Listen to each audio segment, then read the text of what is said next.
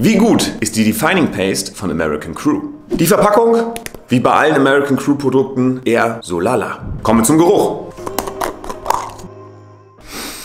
Leicht zitrisch, etwas herb, nicht zu stark, vollkommen okay. Weiter geht's mit den Inhaltsstoffen.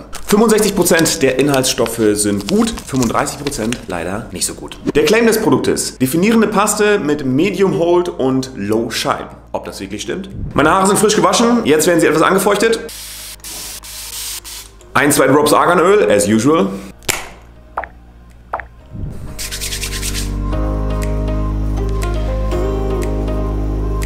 Rundbüste dazu und Föhn dazu.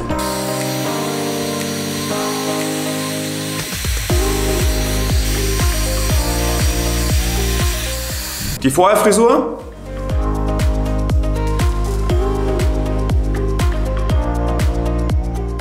Jetzt schauen wir mal, ob wir da ein bisschen Definition reinkriegen. Die Konsistenz des Produktes. Creamy, wachsartig, genau wie man sich so eine Paste vorstellt. Das Auftragen in den Händen funktioniert einwandfrei. Kommen wir zum Styling.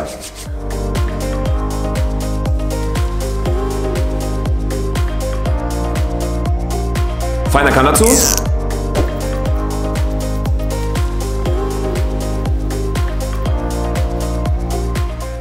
Das Styling geht tatsächlich easy von der Hand. Noch ein bisschen Haarspray dazu. Kommen wir zum Vorher-Nachher-Vergleich.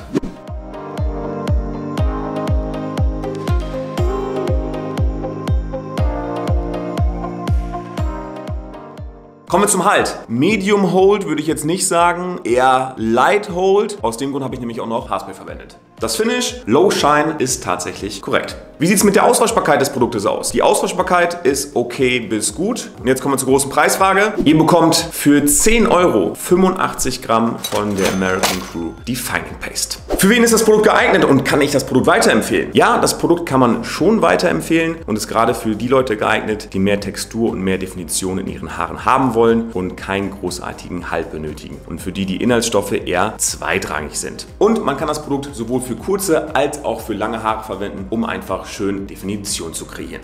Totale Punktzahl, die Defining Pace von American Crew erhält 38,5 von möglichen 50 Punkten. Link zum Produkt wie immer unten in der Infobox. Und jetzt wünsche ich euch viel Spaß beim Haarstyle.